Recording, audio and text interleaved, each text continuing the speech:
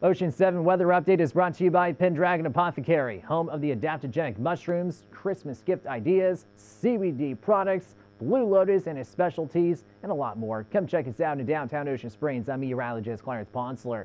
Heading into this Friday night, we do have some shower threats to our north, impacting portions of mainly the mid-south.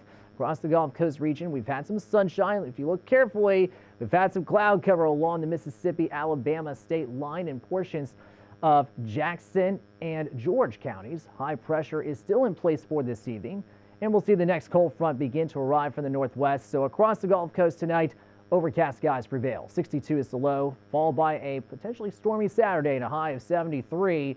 Few storm threats early Saturday night and isolated showers on Sunday with highs still around 70 degrees. We won't drop off for lows too much over the next five days with upper 50s to lower 60s for lows and a bit overcast but drier weather Monday and Tuesday.